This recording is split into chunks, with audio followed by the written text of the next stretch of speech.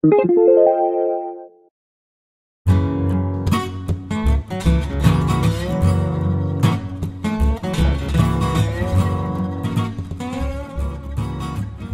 you fish the Adirondacks, the Catskills, pictured here, the rivers of Pennsylvania, or the streams of New England, you've heard the green drakes.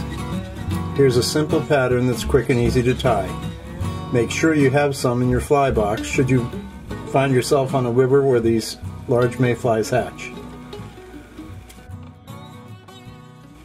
The hook I'm using is a standard dry fly hook in a size 10, but I've tied them as large as a size 6.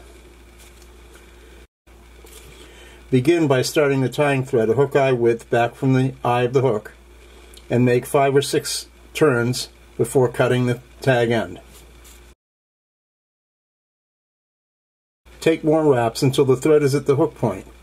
Then bring the thread back to the original tie-in.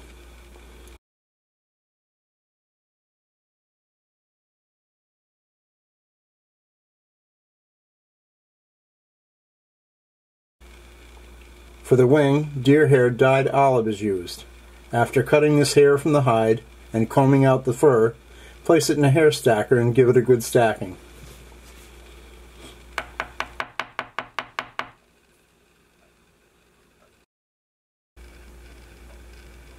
Measure the wing from the hook bend to the eye, and then transfer that measurement up to the original tie-in point. Take two loose pinch wraps around the hair and while holding it tight against the hook, pull down on the thread so that the deer hair flares.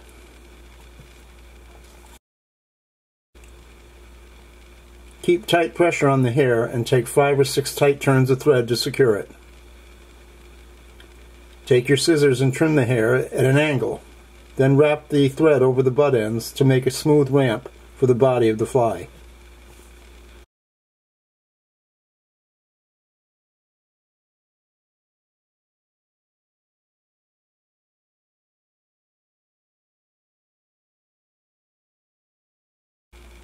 For the tail, or in this case the shuck, I'm using shuck yarn from Fly Tyers Dungeon, but Zelon, Antron are all perfectly fine.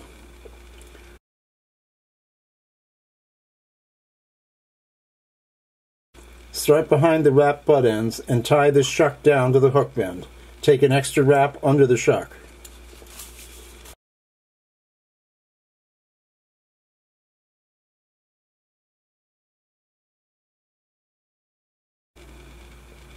Bring the thread back to where you tied in the shuck to catch any loose fibers and to give a smooth taper for the body.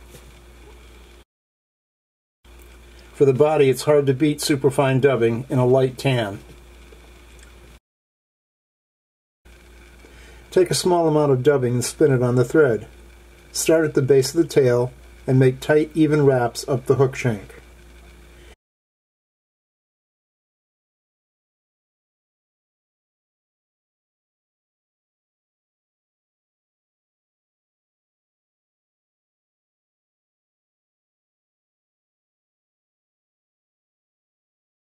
You should apply the dubbing several times rather than try to make one large dubbing noodle.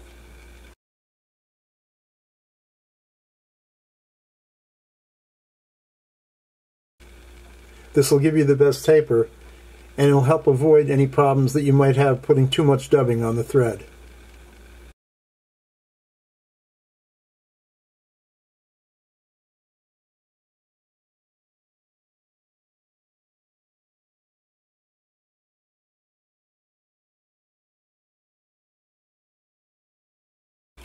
When you reach the wing, pull up and wrap the dubbing in front of the wing to keep it standing.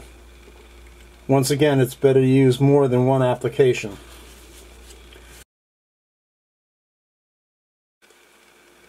You won't have any doubts that the wing will stay upright.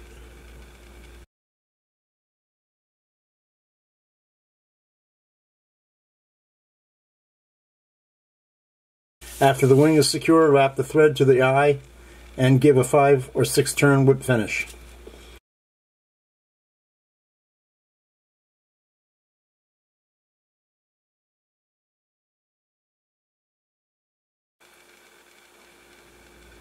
Now you can cut the tying thread and the fly is finished. An optional step would be to use some head cement. If you haven't done so, trim the shuck to about a length of the body.